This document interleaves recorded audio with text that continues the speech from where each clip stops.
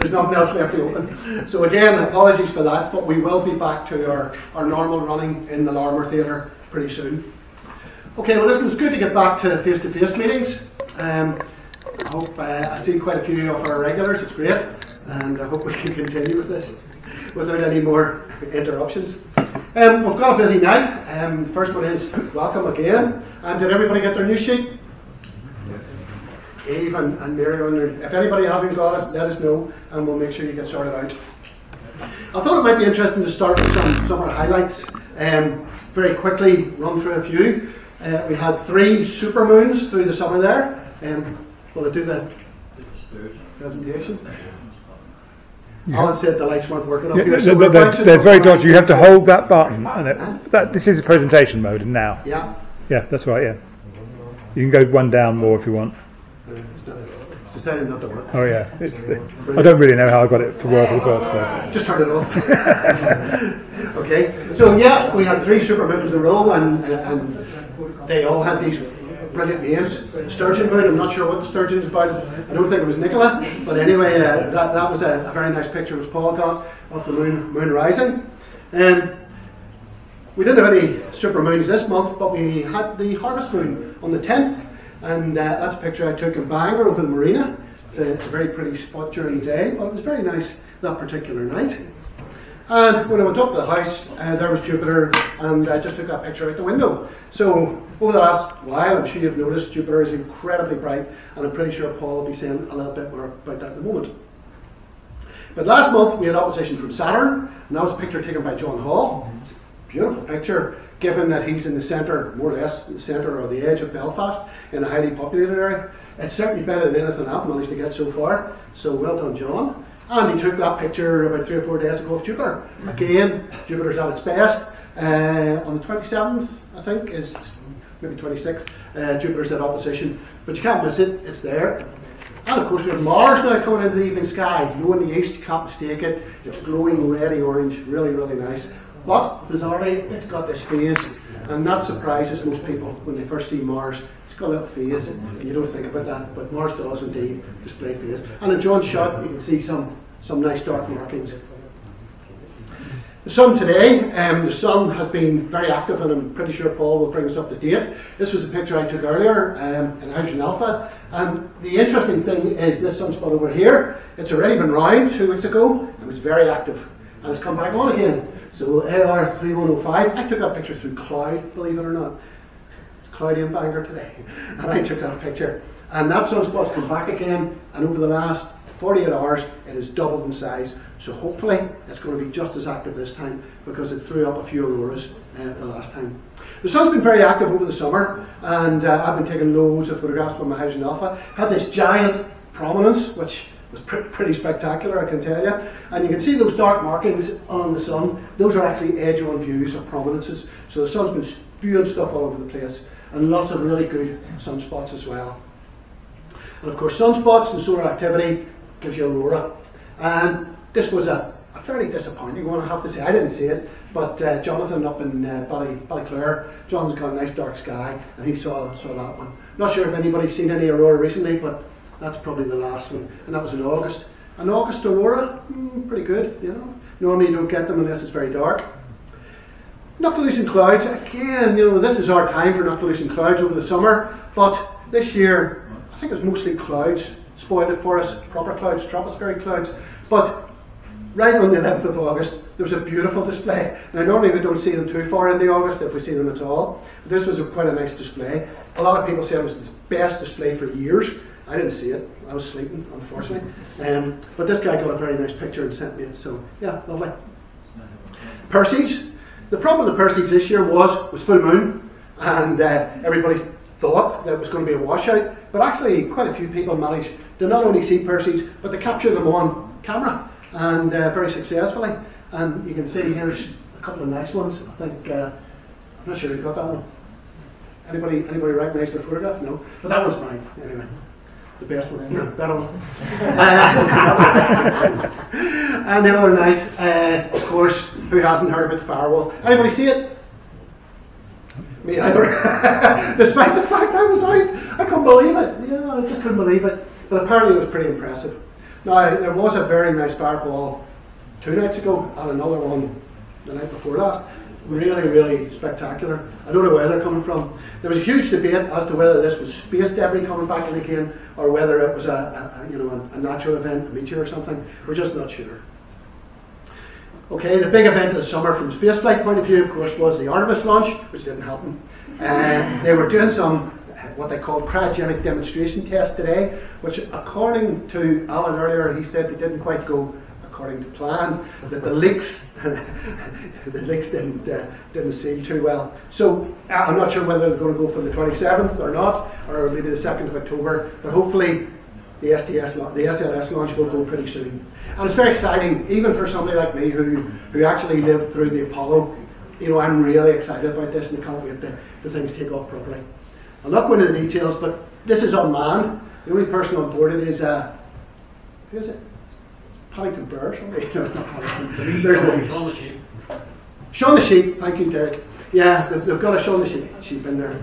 Okay, well, look, that's, that's just a run through of some of the highlights of summer. The next thing we're going to do is hand over to Paul. Let's just hope this IT. Where was your HTML? Uh, it's, it's on the um, front right Okay. sort of time. Um, I'm just going to go and see if I can make the lights work again. Oh, there, oh, there they are. Oh. 'Cause we had some trouble. No, it's, it's the other. Uh, On the left, right, or the right? right? I'll let you do that.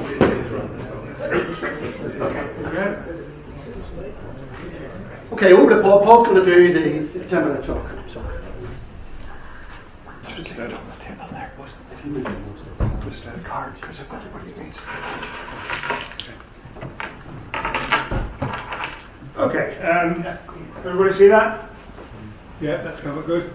Okay, so I'm going to talk uh, just a, a, bit about a few things in the sky. Andy's already covered some actually, but uh, there's a fair few things going on at the minute. Um, I, I, just want to sort of point out to you at this very beginning, um, those of you who sort of take notes with a camera might just want to photograph that. There's various sort of uh, places that we keep our information there. Our website, irishastro.org, and then we've got a Facebook group, which is that, um, and a YouTube channel um, where there's plenty of videos and stuff. Um, and actually, those latter two are linked from um, from the main website. There's, there's buttons at the top that's pretty obvious what they are.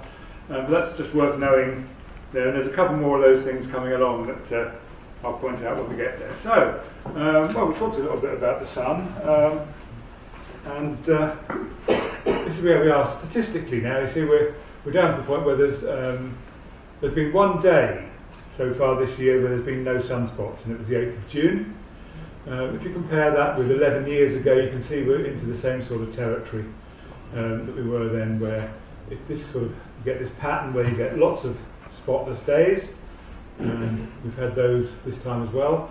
Very deep low in 2019, but coming well out of that now, uh, and down to less than 1% of days spotless this year. So it was the 8th of June.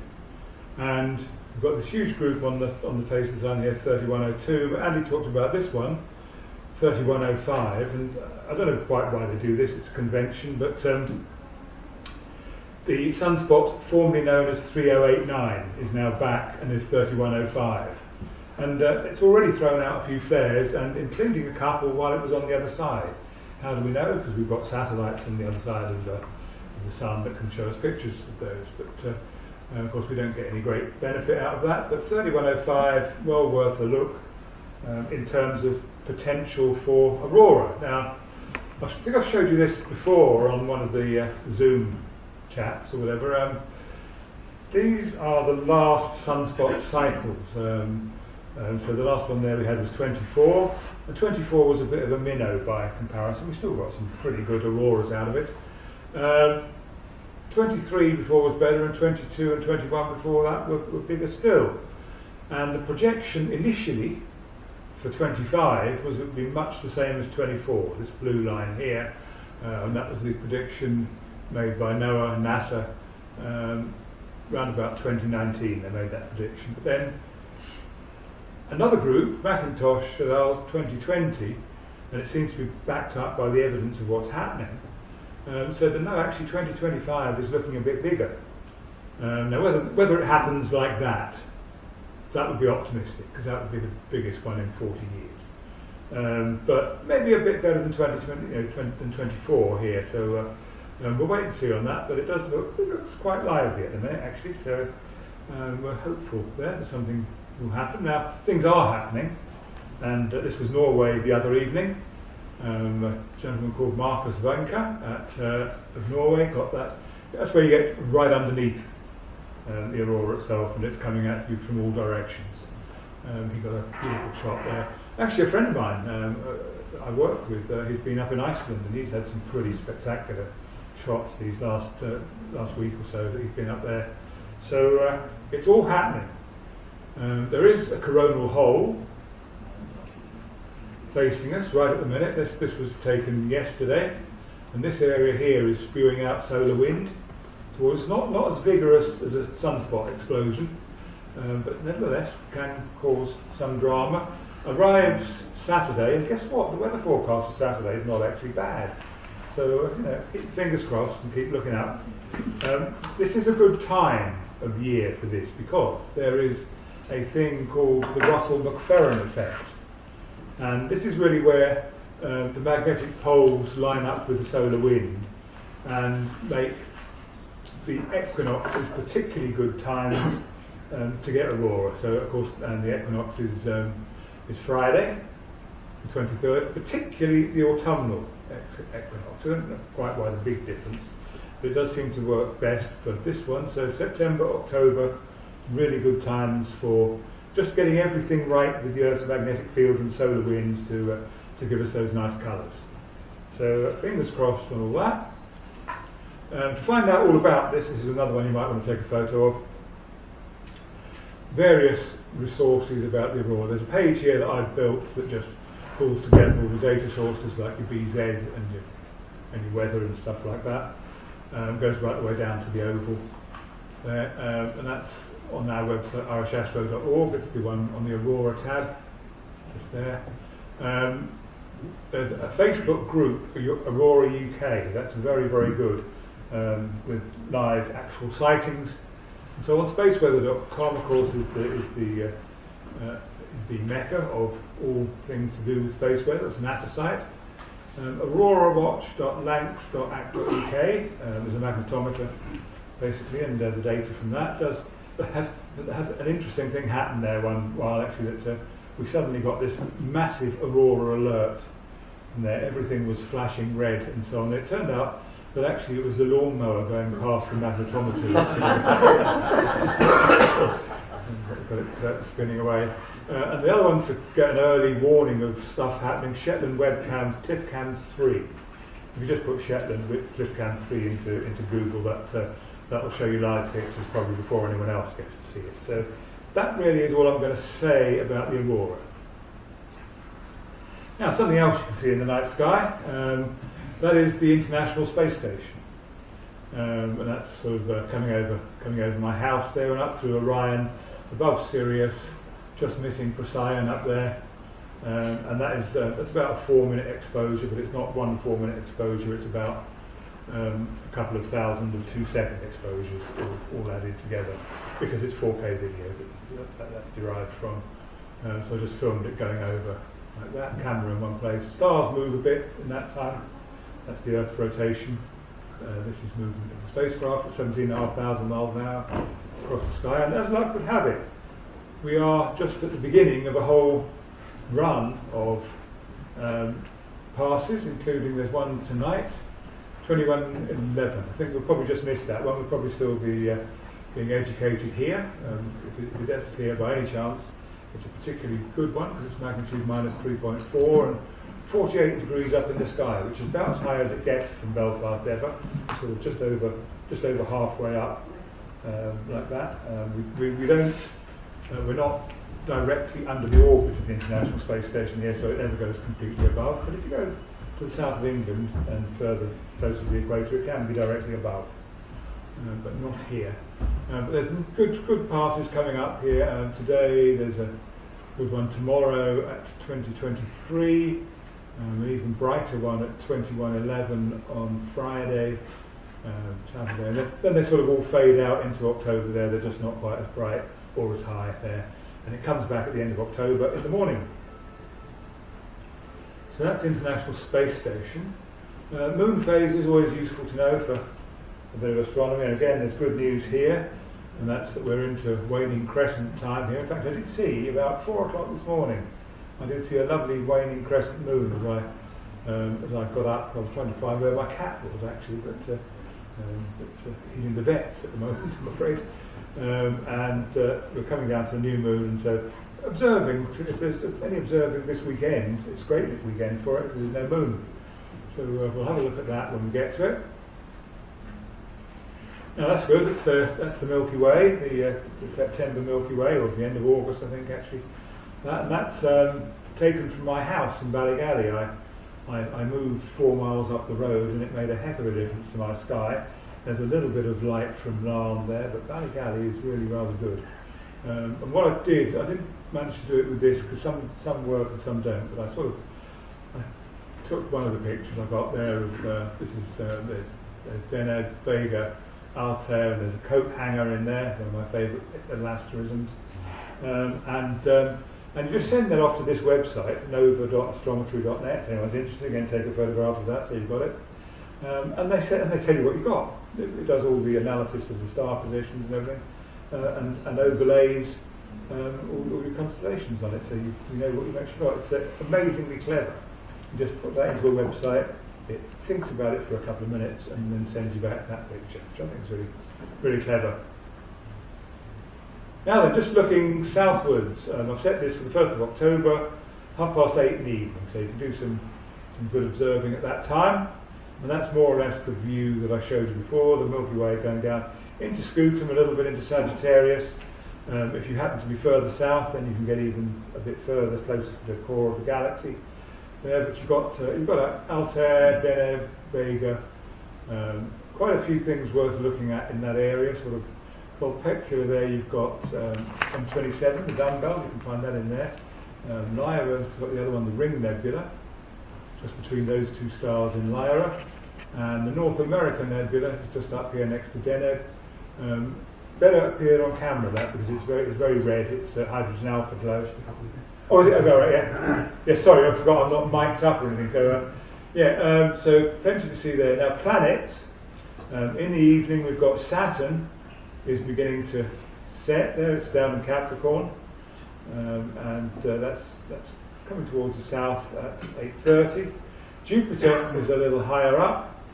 Neither of these are terribly high up. This is why people people who've tried imaging these two planets minute, um, it kind of looks as if it ought to be easy. They're fairly large, but you're looking through a lot of air because there's no more than 10 degrees of, uh, of altitude in it. Um, so you're looking through a, lot of air with some contamination in it, so uh, it doesn't necessarily look that great.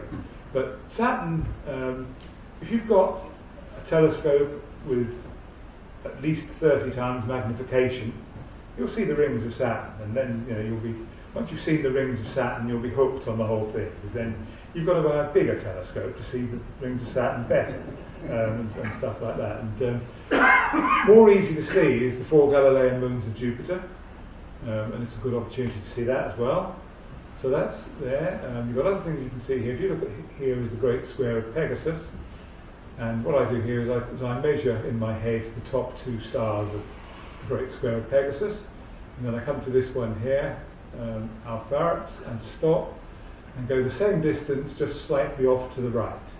And I come to a star called Mirach, and I stop dead there and do a sharp right turn, and go a short way till I come to a little star there, called Mu Andromeda, and go the same distance again, so there's a little fuzzy patch there, which you can just see on this, and that is M31, the Great Andromeda Galaxy. And that is light from two and a half million years ago. Um, so no actual proof that it's even still there, but uh, it probably is, but a bit different and, uh, uh, and not quite the same place and so on. But it is coming towards us quite quickly as well. That uh, um, if anyone's planning on being here in five billion years, there'll be a collision, which will be a, um, an interesting um, event for all of us. Um, so that's um, things you can see there. I'm going to just go forward another eight hours. For those of us who sometimes have to get up really early in the morning, and I'm afraid I'm going back to that before not very long, Um, Jupiter is still there. Um, Jupiter is still still in the sky. It's much more over towards the west now, but it's still there. Um, and then we've got all this sort of um, winter constellations coming in here. We've got um, Orion, is the most obvious. You get up early in the morning now, and Orion's right there. I, saw it again this morning. Uh, we have the, the, belt of three there. Uh, Betelgeuse, Rigel. Betelgeuse and Rigel looked to me this morning to be pretty much the same brightness. And two and a bit years ago, that was definitely not the case. Uh, Betelgeuse was much dimmer, lost about one and a half magnitudes. And then I'm still not sure why. I think I think it's dust clouds or part of the outer shell of the star was ejected. But uh, um, some even thought it might be the precursor to the eventual ending of Betelgeuse as a supernova explosion. But uh, no such luck just yet. Um, but that's that's Orion. Now use the three stars of Orion as pointers, and you can follow them up to Aldebaran. We've got the V shape of the Hyades there. Aldebaran literally means eye of the bull, and that's Taurus the bull there. And you go a little bit further, and there's the Seven Sisters, and you can play the little game where you count the Seven Sisters. Um, I only see six. And um, the Japanese, they have a different name for it. They call it Subaru. And if you look at a Subaru car, it has six stars on the front, which I take to mean that Mr. Subaru and me have about similarly not that brilliant eyesight. That's my theory. Um, going the other way from Orion down there, Sirius and, um, and, and, the rest of Canis Major, one of the few constellations that kind of looks like what it is. Um, you can kind of see a dog with its head here and the hind legs at the bottom there. Things you can't see here, actually, just this part of the sky. Um, when I've been on holiday to, to more sort of tropical places, it's quite interesting that there are stars you can see. This, this constellation just goes all over the place here called Eridanus the river. Goes right down here, somewhere round about there, about 20 degrees um, below our horizon, is a first magnitude star called Achernar, um, and that is Alpha Eridani. Uh, and likewise over here, about 20 degrees below Canis Major, down there somewhere, is Canopus, which is the second brightest star in the sky. And you can, I've seen, I've seen Canopus from Gran Canaria and from central Florida. I think you have to go a bit further from Achernar because I've only ever seen that from Australia. But uh, so that's that's the um, that's the sky. So I'm, I'm, going to kind of just touch on one more thing. Andy uh, mentioned this, and uh, I'm so looking forward to this. And the way things were looking until today, that that could you know, the, the, next launch window is on my birthday next week, so what, how, how good would that be? Um, but unfortunately, Andy mentioned this, that uh, there seem to be um, still some problems with the cryogenics, and um, keeping that amount of liquid hydrogen, liquid oxygen um, in a tank without it leaking is quite difficult. Now, the space shuttle did it. Uh, the Saturn V did not, because they got round it um, by using um, aviation fuel, um, well, special uh, aviation fuel called RP1 um, in the first stage. So this really hasn't been done like that before. And this is a slightly more powerful rocket than the Saturn V, which hasn't launched since 1973, Skylab 1 being the last. So we're of this. It's a sort of a, this, this mission is a sort of a mishmash between Apollo 4 and Apollo 8. It's not Apollo 8 in that no men are involved, um, Apollo 4 was the unmanned first Saturn launch, but that didn't go all the way to the moon. What they did with that is they sent it part way out and then actually used the rocket to simulate a moon return um, by speeding it up to 25,000 miles an hour, then doing the re-entry. But this, this does the whole trip around the moon into a big orbit. That would be one of the furthest out rockets there's ever been when it's in that big orbit the other side of the moon. And uh, will splash down nearly a month later keep the fingers crossed and hope that, that happens um, as it should and very soon. But uh, in the meantime, that's all I have to say. So keep safe and keep looking up.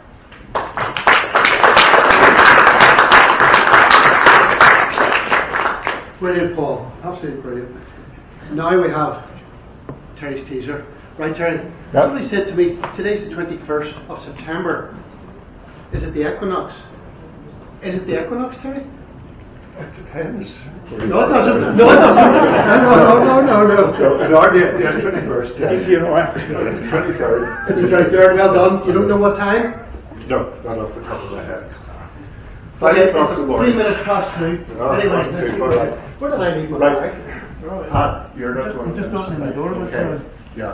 Uh, just before the teaser, a couple of things. First of all, we're, we're totally out of, we're discombobulated, as you say, because of the, uh, the rearrangement. Derek Hinckley has these books for sale at, uh, and other videos at, uh, bargain prices. Derek, where are you? Your hand up. Uh, Small meat for five Right, so. okay. Secondly, we are locked in, so this lecture had better be good. Seriously, the only way in and out of the building is using a card like this. If anybody needs to leave in an emergency, I'll take you down, open the door, and let you out again. That also means at the end of the lecture, we'll try and all leave either in small groups or all at the same time. We can't go out just in dribs and drabs because you literally can't. I don't mind waiting. I know, we but lost out anyway. people do leave at different times. People may have buses to catch or trains to catch. Anyway, the point is, if you need to go out uh, before Steph leaves, this card's up here at the front, and I or somebody else will take you down, open the door, and let you out. Well, I, I would suggest Terry, somebody goes down and, and lets people out. Yeah. Just, just Well- when the, the talk's over, and you can filter out the Yeah. suits and, Okay. and borrow and give it back. yeah, Stephanie's yeah. I would rather sort of, or somebody responsible, Yeah. Which Nobody I here. Nobody here fits that, Terry. We're- vote myself to that we take because this is Steph's staff card. If that's lost, she doesn't even get into the building tomorrow. Okay, so that's that. Now the teaser. Teaser always uh, try and relate to the topic of the lecture. So the teaser tonight is what changed in 1979 and 1999. The most distant planet. The most Expand. Go on. Changing the Neptune. Yes, very good. Well done. In 1979, Pluto came inside the orbit of Neptune. It was still a planet in 1979, so Pluto at that time ceased to be the most distant planet in the solar system and handed over to Neptune for 20 years until it passed out of Neptune's orbit, passed outwards from uh, its perihelion. So yes, February 1979 until February 1999, uh, Neptune was the most distant planet in the solar system. So well done. Well done. So, it's my turn. I just going to say, Jeff. because of the Horlicks and rearranging the venue and everything, I didn't get time to go and get uh, the usual choice is a Mars bar or a Galaxy, but I will have one for the next meeting. So, but well done. Thank you, Terry. Okay, Thank you very cheers. much. Okay, ladies and gentlemen, tonight now we this is the highlight of the evening, obviously, and we're delighted to welcome Stephanie Merritt. Um, Stephanie was actually born of an Irish family in England, and at the age of 17, they moved back to Belfast. Made a good choice, I'm sure. And uh, she then decided to, to do astrophysics. She, she's got the Stephanie, you've got the mic on. I have got the mic on. Is the mic switched on, Paul? Yeah, I think so. It's got, got a green light on it. That's it. That I can see. Is there a green light? You can press the- There you are. There is That- now. That is on yet, and you've got um, space and your plug in. Yeah, there we And go. your screen is up there. Let me just double check because this has been. Yeah, no, it's there. Yeah. It's there. Good. You, you wouldn't believe the problem we've had down at the other lecture theatre also. We've had all the, the top brains, including Professor Fitzsimmons on it, and we couldn't get it to work. Sorry, Stephanie. Um, Stephanie came back to Belfast, did her A levels, and went to Queen's, did her degree, and then did her PhD. And uh, her PhD thesis was on, I get this right, I think it was character, characterising the atomic species present in hot Jupiters. Um, Stephanie now got a she's now got a job in, in Queens and uh, she's in the department and her research focus has been um, the printing this is far too small for me has shifted to the study of the outer solar system with the uh, upcoming Vera C. Rubin telescope. So Stephanie, thank you very much and very welcome. Thank you.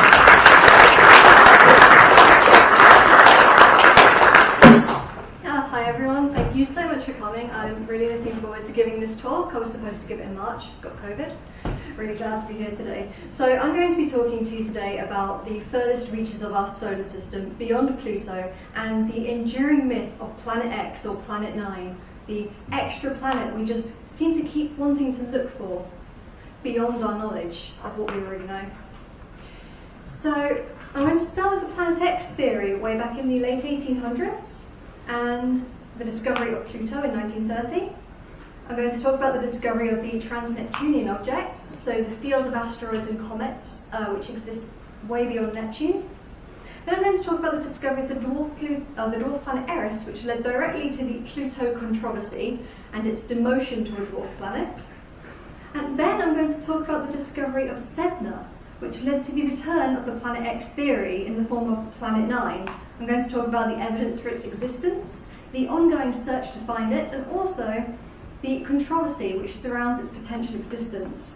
I'm then going to finish up by talking about my current favourite thing in the world, the Legacy Survey of Space and Time at the Vera C. Rubin Observatory, which hopefully should be able to settle the Planet 9, Planet X question once and for all, at least until we think of a different Planet X or Planet 9 to focus on. So, Neptune was discovered in 1846, and this was because astronomers had calculated that Uranus was not orbiting the way they expected it to. They believed there had to be another planet out there pulling on Uranus to create its orbit. And they were right, they found Neptune. But then some astronomers did some more calculations, including uh, Babinet in 1848, and they thought, well, actually, Neptune's not big enough to give that much of a pull. We think there must be another planet out beyond Neptune. This was Planet X. And in the grand tradition of very rich people funding astronomical projects just because they have a lot of money, um, the businessman Percival Lowell founded the creation of the Lowell Observatory in 1906, just to search for Planet X. That's him here. Can you see my cursor there? Oh, excellent. Yeah. So there he is. Uh, that's his 24-inch refractor telescope at his observatory. Definitely more useful than firing your car into space, if any billionaires want to take notes. Um, so Lowell believed from the irregularities, the supposed irregularities in Uranus's orbit, that planet X would have a mass roughly half that of, of Neptune, a low density like the other gas giant planets, and would show or rings. And he thought it would have a diameter of about one arc second and an apparent magnitude between 12 and 13. So 6.5 is roughly what you can see with the naked eye, and magnitude goes up as things get dimmer. So he thought it would be quite dim, but he thought he'd be able to see it with his telescope. Unfortunately, Lowell died in 1916, apparently heartbroken, before his beloved Planet X could be discovered. However, in 1929, the young astronomer Clyde Tombaugh, who was a former farm boy and only 22 years old, was hired by the observatory to continue the search. Now, Tombaugh used something called a blink comparator. So this takes an image of the night sky at different times and flicks between them. Just flicks between them. And he did this to thousands upon thousands of photographic plates, looking for anything that was moving. And after a year of like absolutely painstaking work examining these image pairs, he found it, Pluto, in 1930. And I think, I don't know if you'll be able to see it here, it's very dim. But There's Pluto, and there it is again a few days later. Really terrific work. You wouldn't get even a grad student to do this these days. The thing is, Pluto did not really follow Lowell's predictions for Planet X. It was too dim for a start, only 15 mag, and they didn't see any rings or anything that looked like a ring system. Um, and estimates of its mass were originally made on its presumed effect on the orbits of Neptune and Uranus, so they thought perhaps around Earth mass. But the more I looked at it, the more I had to keep revising that mass lower and lower and lower, especially when we discovered Charon, Pluto's moon. So these are both images of Pluto, and you can see here there's a little elongated bump. That's Charon, that's the moon. And once you've got something orbiting something else, you can start making some really accurate guesses as to what the mass is. And this is when we started to realise actually Pluto is less than 0.25% the mass of Earth. The final nail in the coffin, however, for the Planet X theory was that Voyager 2 flew by Neptune in 1989 and revised its mass. Uranus's orbit wasn't discrepant after all. There were no discrepancies in the orbit of Uranus. There was nothing pulling on it. We didn't need to conjure up another planet to explain its orbit. Planet X theory seemed to be dead. However, we were still very interested in this region of space. You see, for a while now we haven't known where comets come from. They come into the system, they come out, they must come from somewhere. So Edgeworth in 1943 and Kuiper in 1951 suggested that there had to be a reservoir of comets and larger bodies existing somewhere out there beyond Neptune, around about where Pluto was. the second trans-Neptunian object, which was 15760 Albion, wasn't discovered until 1992. Then that was David C. Jewitt and Jane Exley after a five-year search. Um, relevantly, the media probably got quite excited and started claiming that it was Planet X. It's not an idea which we seem willing to let die, uh, but by 1993 we'd found a handful of other objects out there beyond Neptune.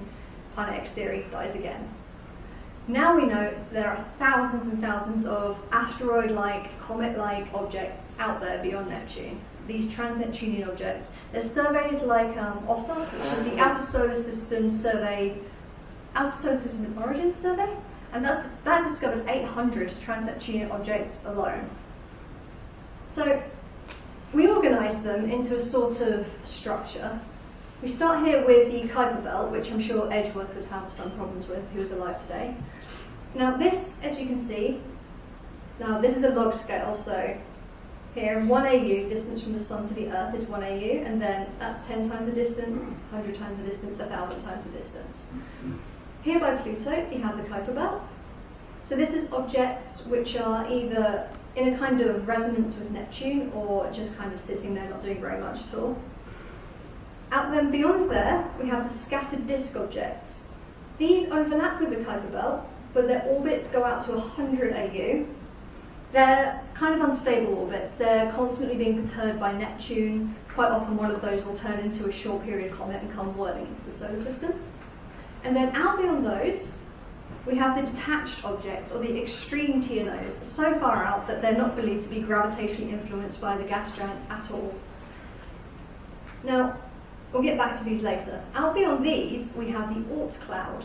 So the flat disk of the Kuiper Belt suddenly it starts to become spherical, around 5,000 AU. I'm not going to spend much time on the Oort cloud, and that's because we don't have any direct observational evidence that it actually exists.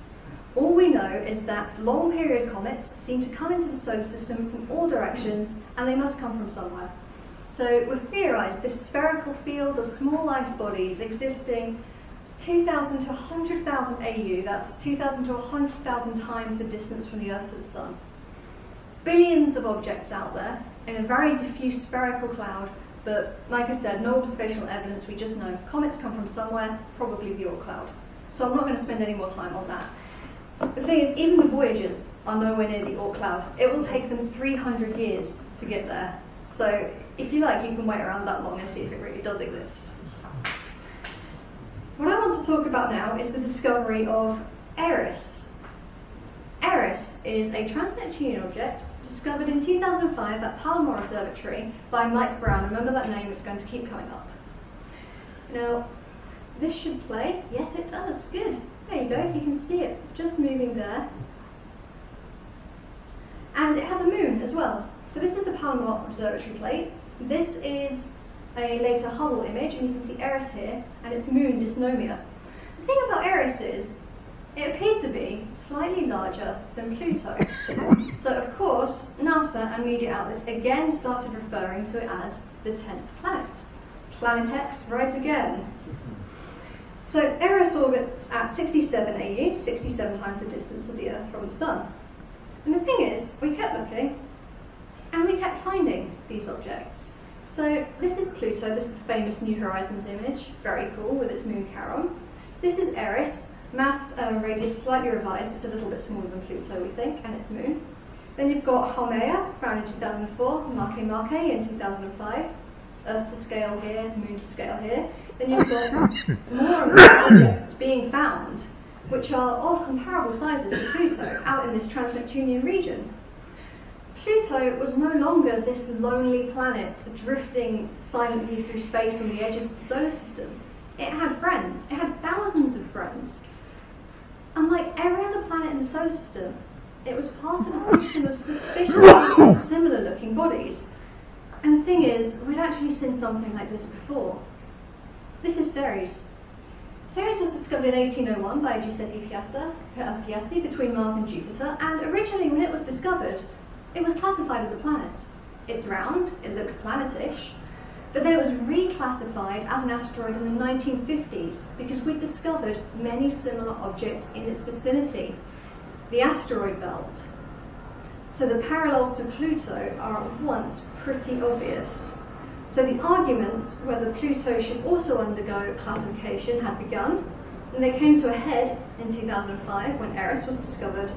And as we all know, this led in 2006 to the reclassification of Pluto as a dwarf planet when the International Astronomical Union finally decided we should probably define what a planet actually is.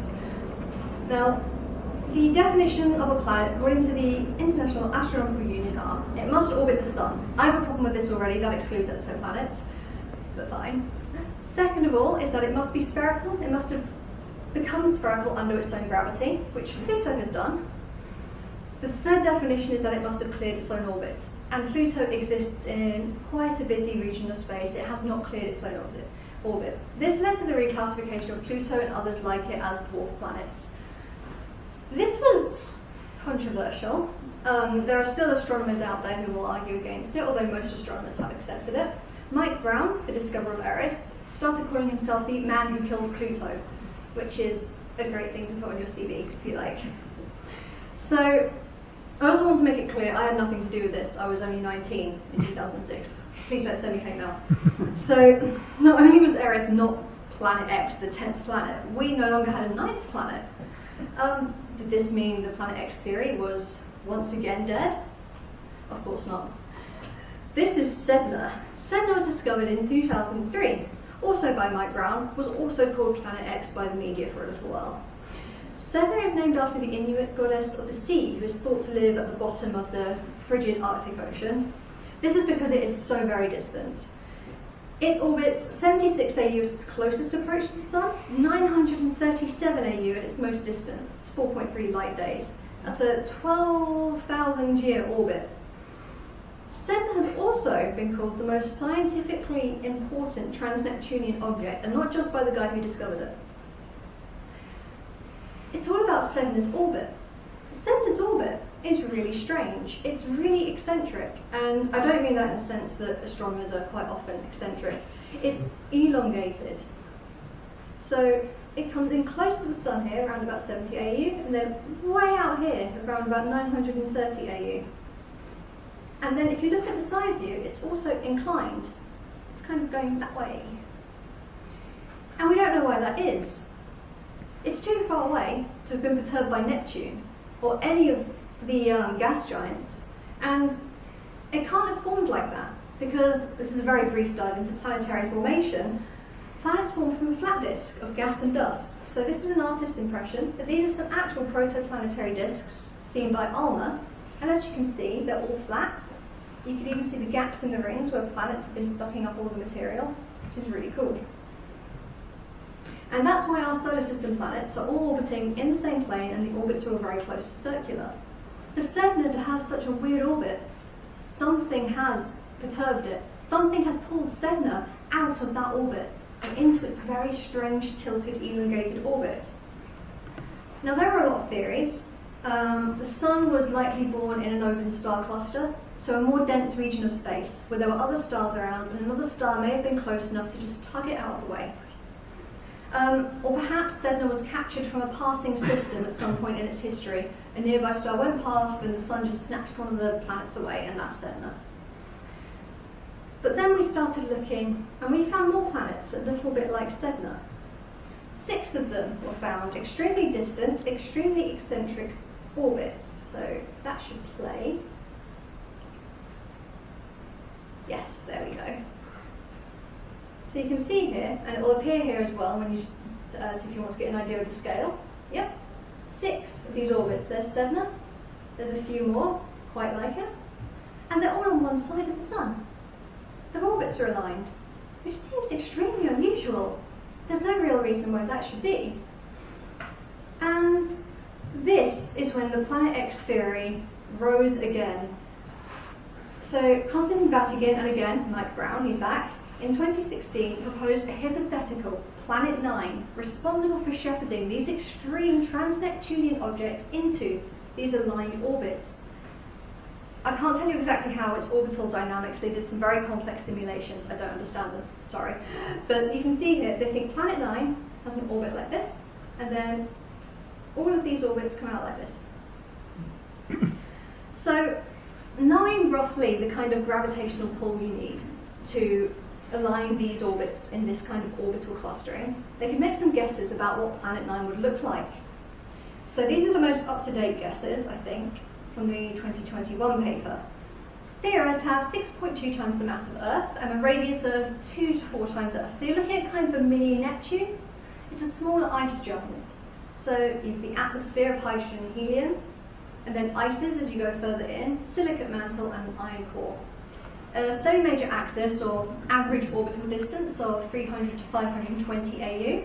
One planet nine year, roughly 10,000 to 20,000 years. So you might ask, all right, where is it? Where is it in the sky? We can only have a rough guess. This is one guess pulled from Mike Brown's blog. Um, we think it's somewhere near Orion. So you've got Betelgeuse there, there's Orion's belt. Um, this is where Planet 9 would have been in 1000 AD, and 2000 and 3000. It's very distant, it's very slow moving. And unfortunately, its apparent magnitude is probably greater than 22, so it's 600 times fainter than Pluto. So where did it come from, is another question you might ask, because these protoplanetary disks that the planets form from, they don't tend to extend out quite that far. If Planet 9 exists, we don't think it formed out where it, where it lives now. So one of the theories is that when the gas giants were formed, it was kind of a tumultuous period for the solar system. There was a period there where they were ping-ponging back and forth, migrating in and out, doing all kinds of things. It's possible that there was originally an extra gas giant in our solar system, and then while Jupiter and Saturn and Uranus and Neptune were busy bopping about all over the place, it flew off, gravitationally perturbed right out of the standard orbits of the solar system. Uh, less excitingly, it could have just been, like I said before, an encounter with another star from the star cluster the Sun was born in, pulling the distant planet further out, or again captured from another passing system. We don't have nearly enough information to know. So we've been looking for it. Batygin and Brown have searched archival data. So they've looked through every extant survey we have. The Catalina Sky Survey, Pan-STARRS, the WISE satellite, first three years of data from the Zwicky Transient Facility. And they haven't found it yet. But they've ruled out maybe 56% of kind of the parameter space, so potential locations. They're currently using the Subaru telescope, in fact, to observe about 600 to 800 square degrees of space near Orion, roughly where they think it is. But they haven't found it yet. And one of the reasons they may not have found it yet is that the fact that, well, whether Planet 9 is real is very much an open question. If you ask astronomers, you'll find some astronomers are 90% confident, definitely out there. You'll ask another astronomer, 90% confident, doesn't exist, fake news. For a start, there is more than one explanation for why those orbits might have clustered. That passing star we mentioned, or galactic tides. But many of the arguments against Planet 9's existence hinge on one thing. Is this orbital clustering even a real thing that we're observing? Observational bias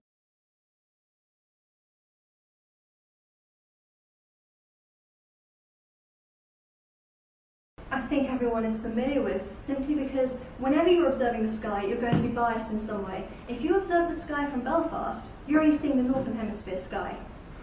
Weather, another thing we're familiar with here, can influences what you see. The optics of the telescope you're using influence what you see. Batygin and Brown had gotten their six original objects from a number of different surveys, and they haven't really accounted for any observational bias. It's possible that they found these specific objects in this orbital cluster because they're just the easiest to see. And other large sky surveys like OSSOS or like the Dark Energy Survey have also looked. And the thing about OSSOS and the Dark Energy Survey is they understand their biases very well and they can mathematically account for them. OSSOS especially found eight more of these extreme trans-Neptunian objects and they found no evidence for clustering. In fact, you can look at the image here where they've been added. So, I can't quite see, yeah, this is planet 9 here. And suddenly you can see we're not really seeing that clustering anymore. That definitely doesn't look as definite as it did before. it is still very much an open question. Brown and Batygin reanalyzed everything in 2021. They included 14 objects, they accounted for observational biases, and they say they're still 99.6% confident that this clustering is a real thing and not the effects of bias. There's also a case to be made that some of the objects they're including are actually still under the gravitational influence of Neptune and therefore should not be included at all. And another case to be made is that this is still very small number statistics. I mean, 12, 14, 16 objects, it's really not that many. It's definitely not enough to make any kind of solid conclusion on whether this orbital clustering is real or not. So, how do we solve this problem?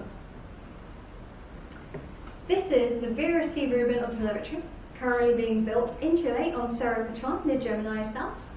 It's due to see first light next year, and this is my current favourite thing in the whole world. I work on the LSST. It is a 10 year full sky survey.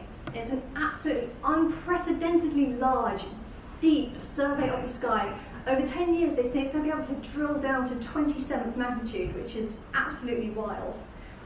It's got four key science areas. So, dark energy and dark matter is one, mapping the Milky Way is another, supernovae and other transients, and then, most importantly for this, an inventory of the solar system. So, it's got an 8 meter primary mirror, a megapixel camera array over 1 meter wide. The field of view can fit in 7 moons. This is the resolution. So this is a kind of satellite image. And you can see at this scale, it can image a golf ball, which I think is really cool. It's producing 200,000 images and 1.28 petabytes of data a year, a tremendous amount of data we won't be looking through this with blink comparators, put it that way.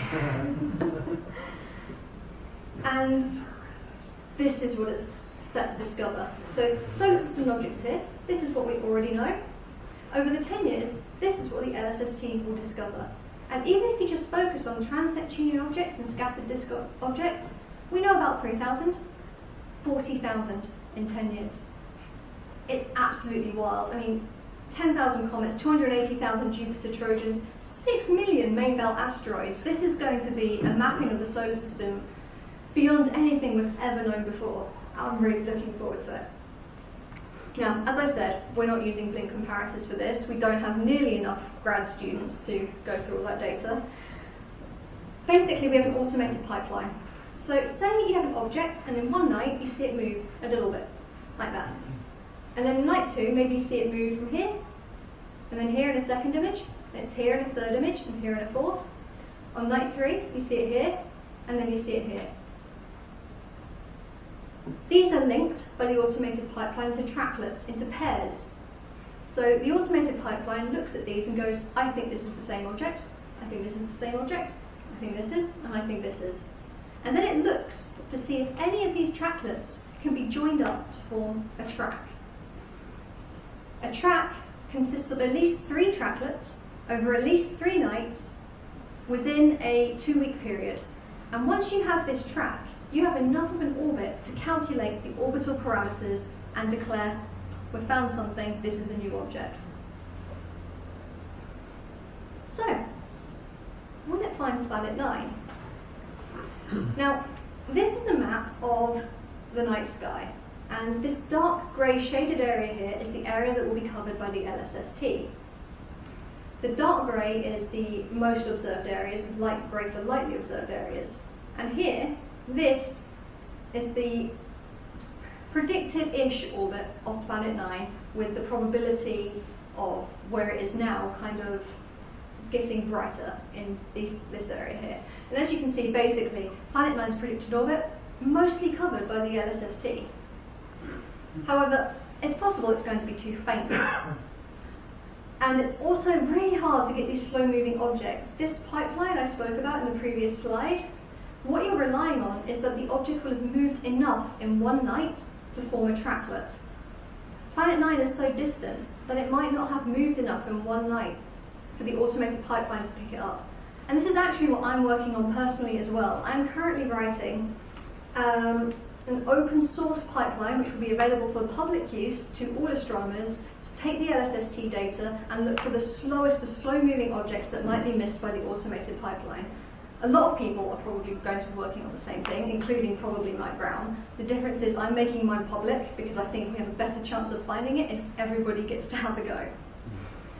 But even if we don't find Planet 9, what we will find are a lot of extreme trans-Neptunian objects. And we will be able to look at their orbits and we will be able to see, is this orbital clustering real or was it observational bias? And I can tell you the observational biases of the LSST are very well understood. This is, again, something I work on, is simulating the observational biases so that we know exactly what we're seeing when we look and we know exactly what we're not seeing. So I think the LSST really is going to be the thing that either puts the Planet X, Planet 9 theory to bed once and for all, or the thing which proves that it truly exists. However, first light for the LSST and the Vera C. Rubin isn't until next year. So in the meantime, um, you guys can get involved if you like, looking for Planet 9. Um, this is Backyard Worlds. Backyard Worlds is using five years of survey data from WISE, NASA's Wide Field Infrared Survey Explorer satellite. This is a citizen science, citizen science project looking for volunteers. So you can look through the images from WISE and you can look for things which move, like this, or you can look for things which seem to flip, like this dipole, which is the sign of a very slow moving object. It's possible that Planet 9 exists in this data. What's also in this data are probably a lot of brown dwarfs, other interesting objects. The website is there. It's incredibly easy to get involved. You don't need any special training, they'll take you through it. And I love citizen science projects. Um, citizens have gotten themselves on astronomical papers before. Um, I was involved in it with exoplanets. I'm really grateful to be able to kind of represent it for the outer solar system as well. I'd really recommend everyone gets involved. So these are my conclusions. Um, there's still a lot we don't know about the furthest reaches of our solar system, and the cultural phenomenon of Planet X, Planet 9, still, even now, even over 100 years later, an open question. The upcoming Legacy Survey of Space and Time on the Vera C. Rubin telescope will hugely increase our understanding of the outer solar system, perhaps finding or disproving Planet 9 once and for all. And you guys can get involved with the search too with Backyard Worlds. That's the entirety of my talk. I'd be really happy to take any questions.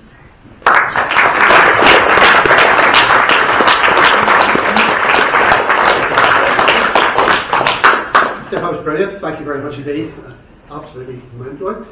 Um, a couple of wee quick questions for me. First one is, you see this, um, the backyard stuff. Well, what was it? What was used to, to take those images? That was WISE, NASA's Wide Field Infrared Survey Explorer. So it's a satellite, and there's five years of data from that, just waiting for someone to look through it. Okay. And what's a dipole?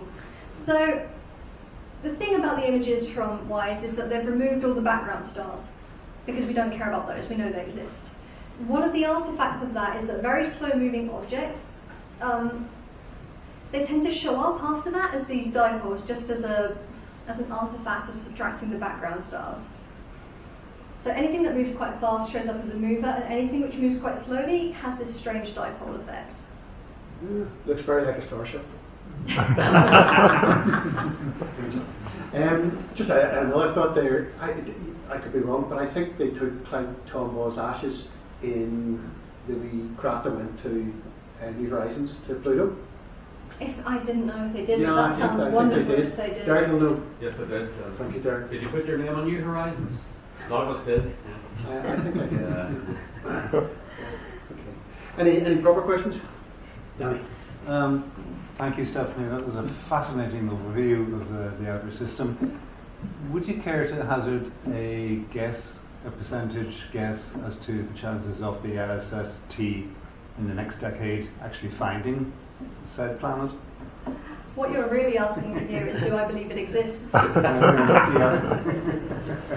don't believe No. it exists. I would love for it to exist. I'm desperate for it to exist. I think if it existed, one of the other surveys would have spotted it. Hmm. I think if it is there, we'll know from the LSST, 100% if it's there, Okay, in 10 years. Thank you. Was it wasn't Pedro doing some work? Pedro Lacerda? Was he? He was doing Yes. Planet X, wasn't he? He was indeed, yes. He's moved on since, but yeah, same field. Yeah, he couldn't find it either. So. No. Oh, we will have a look. You didn't realise it. Any other questions?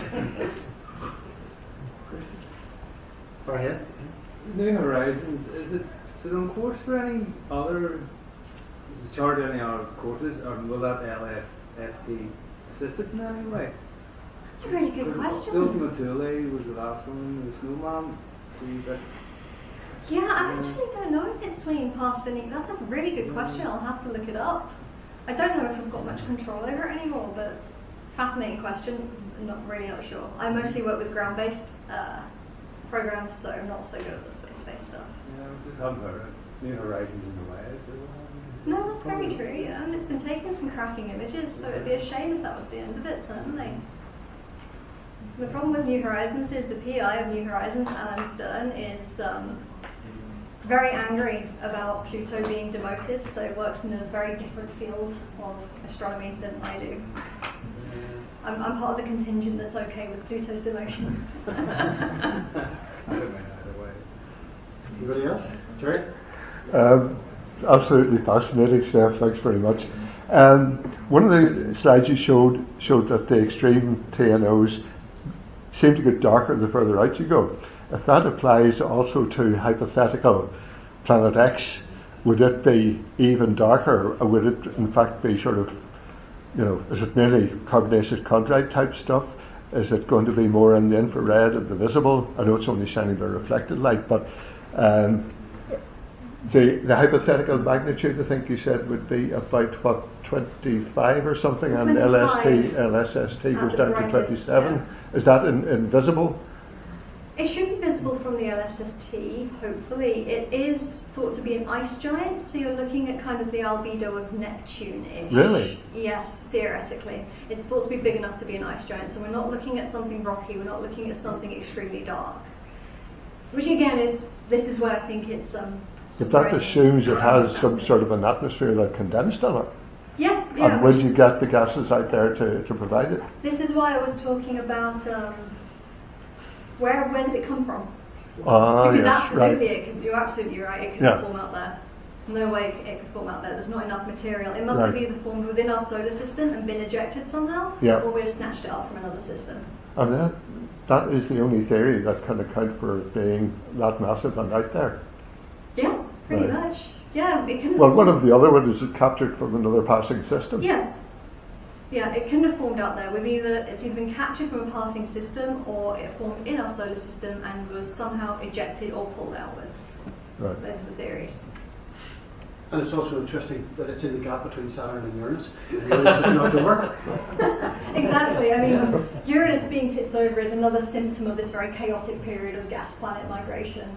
There was all kinds of stuff happening Yeah. at that I, time. I have this theory that you know when if you look at the solar system, it condenses into this disk, but it's got these jets. And in my mind's eye, correct me if I'm wrong, in my mind's eye, I can see the jets coming back down as the Oort cloud, very slowly forming this nice sphere around the solar system. I know it's total rubbish, but you know, the, the jets are there. You, where are they now? Is, is my question. You know, well, I'm assuming they're there. I mean, we think the shape of the Oort cloud is actually due to the fact that it's so far out that the sun's gravitational influence is super weak, and at that point, galactic tides play more of an influence, and they're actually strong enough to overcome the sun's pull and just kind of pull it out into the more of a spherical shape than the disk shape of the rest of the solar system. Yeah, that was basically why is it spherical when everything else is, is, is disc? Exactly, I mean, which is an excellent question, but it is because it's so far away that the sun's gravitational influence is very weak at this point. So anything can perturb these things into more of an eccentric orbit, and over time it's formed a big sphere. Okay, makes sense. Any other questions? Jerry? Um, a fantastic talk, very interesting indeed. Um, again, look forward to all the research and development and, and the things that are going to come in the next lot of years. Um, just as a bit of background, I was uh, looking into trans-Neptunian objects and distances, and I knew it was of billions of miles, the sort of distance we're talking about. And I was actually showing one of the books, it cheered me up today, that the distance of Neptune they had printed in the book was um, 2.8 million miles. It's actually 2.8 billion miles. So the distances we're talking are phenomenal. You know, really, really massive distances. Mm. I'm surprised though, and you mentioned just at the end of your lecture there about um, you know, detecting brown dwarfs. It's such vast distances out there, and there could be, you know, many um, sort of sub-Earth um, sized objects. But is it possible there could actually be a brown dwarf or several brown dwarfs there in the um, kind of and haven't detected? Is that possible? If they're out there, I don't think they are under the sun's gravitational influence. I think we would have noticed them. But we will, we could see them kind of in the vicinity beyond the Oort cloud. I think if they were any closer than that, we would start to see their gravitational effects. I mean, they're not large, but they are quite dense. They have enough mass to to um, create a significant pull. But certainly, there's so much out there that we just haven't seen yet. Brown dwarfs are quite dim, and they're really, really interesting objects. Like these, I mean, calling them failed stars seems a bit mean. You know, they're not quite planets, they're not quite stars, and we do think there's a lot of them out there that we just haven't spotted yet. Just, just out there, kind of in between us and Alpha Centauri kind of distance. So it'd be really cool if Backyard Worlds can find some of those as well. I think. Jupiter, almost a brown dwarf, wasn't it? Jupiter's Jupiter's not too far off actually. You don't need to go much bigger than Jupiter before you start deuterium fusion and it becomes a brown dwarf instead. Hmm. Any other questions? There's a one of those um, smaller planets like Pluto and Eris. There's one like a like a rugby ball. Why is that shaped like an egg? Uh, that's uh, Haumea, I believe. Yeah. That's a really good question, isn't it? it's possible that it's undergone some kind of tidal forces at some point, maybe when it was still warm. I honestly haven't got a clue. It's weird, isn't it? Yeah, it? really. It's really Is it strange. because it such a high velocity? That is a really good point. Could well be spin, yeah. I'm actually not sure. Really good question though. How's it moving? And it has a moon. Well, it's got a couple of moons, we think. Okay, any other questions? Lash, lash out, go ahead, definitely. Well, on the topic of Pluto, I can't help but notice that of the three criteria given for what makes a planet a planet, that Mercury doesn't really fit those criteria. So what's the deal? Why what is Mercury a planet but Pluto isn't? In what sense? Well, Mercury hasn't really cleared its little orbit, has it? It has more. Well, you've kind of hit on another. I have a lot of problems with the IAU's definition of a planet, and this is one of them. In that the definition of what clears its orbit is is a bit of a strange one. It's really, really vague, and you really have put your finger on another problem I have with it. So apparently Mercury has, by whatever criteria, sufficiently cleared its orbit, and Pluto hasn't. Now, Mercury certainly doesn't exist in a band of material as dense as the asteroid belt or the Kuiper belt, but there aren't any numbers on this. Nobody said, oh, it needs to only have this many objects per square, whatever. So while I agree with Pluto's demotion to dwarf planet, and I think dwarf planet is an interesting and useful category, I don't like the IAU's particular definition, and I think that is one of the reasons why, yeah.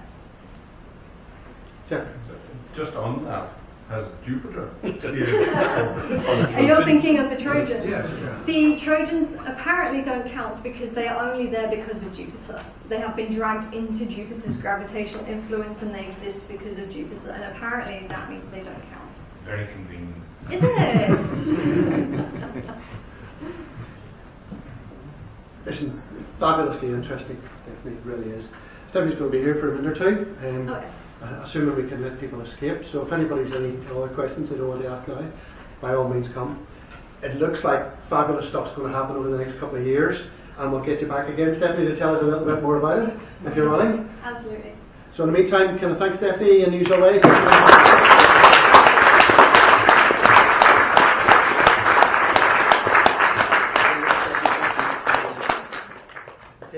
way of wrapping up, well, the first thing is.